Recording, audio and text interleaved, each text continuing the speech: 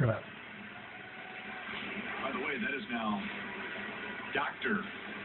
Dayton Moore.